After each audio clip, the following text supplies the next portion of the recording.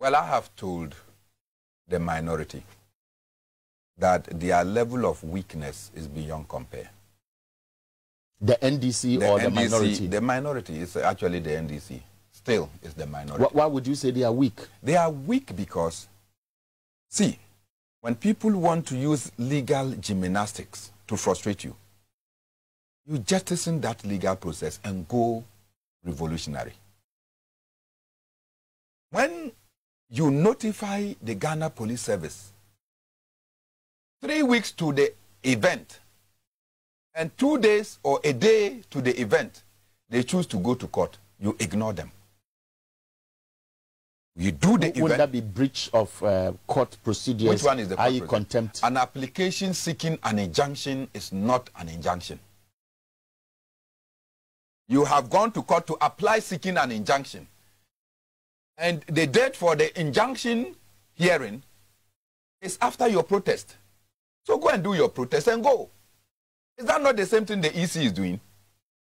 The Electoral Commission said that you have gone to apply for an application seeking an injunction. An injunction has not been granted. So, yes, you have served us an application. We will not respond. Then you go to court and say that, look, I am seeking an injunction. They say they don't want.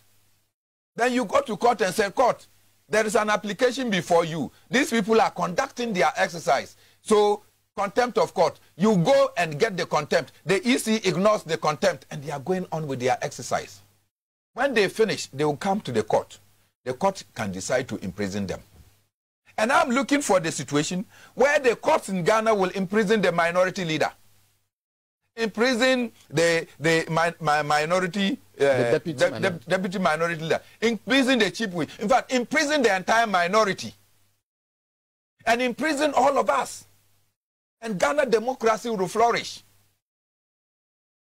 If that is the option that they want, let us do it. So you think the system is, uh, they, they, are- they are not provoking the system? well No, the minority is simply too docile. They must show muscle. If the Electoral Commission that has to safeguard our democracy and safeguard our laws can decide that they will ignore and jettison our laws, what is your business? And then you go and then say, your lawyers come and say, no, don't do this because there is an injunction application. Are you the only legal people in this country?